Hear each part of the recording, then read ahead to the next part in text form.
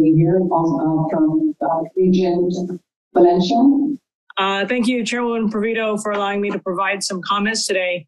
Um, As you said, as a member of the committee who has reviewed this matter with the team, um, I agree that the university has some lessons learned and opportunity improvements on this matter, um, which I have the confidence that we will address as uh, Regent Pete has read.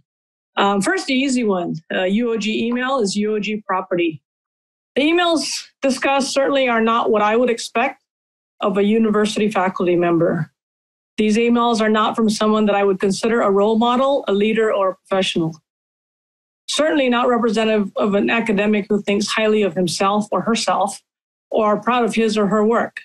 I would have expected professional conduct, in this case, the email, announcements, or other possible methods, as opposed to the inappropriate locker room banter that is believed to be boilerplate with politics. Anybody that says women take this laundry is full of shit.